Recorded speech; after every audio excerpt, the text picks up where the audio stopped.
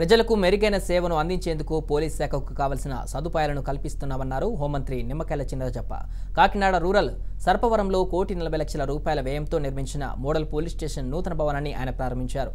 ఈ కార్యక్రమానికి AP DGP ఆర్పి ఠాకూర్ హాజరయ్యారు.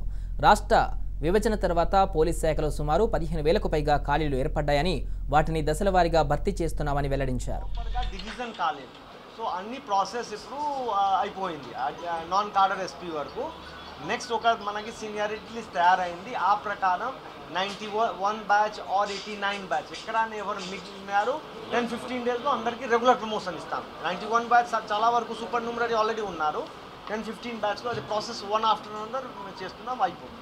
ఉమెన్ సెపరేట్ వింగ్ ఆలోచన చేస్తున్నారు. విమెన్కి ఉమెన్ పీసీ నుంచి ఉమెన్ హెడ్ కానిస్టేబుల్ అట్లా ఒక ల్యాడర్ ఉంది. అది చాలా చిన్న ఉంది.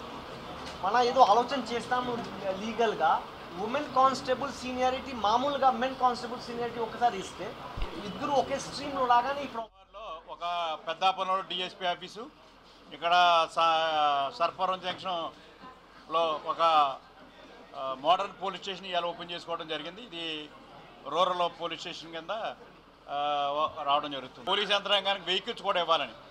దబదబాలుగా ఈ వెహికల్స్ కూడా కొంటున్నాం ఇప్పుడు కూడా మళ్ళీ కొంటున్నాం. ఎందుకంటే అందరికీ కూడా మంచి వెహికల్స్ ఇవ్వాలి.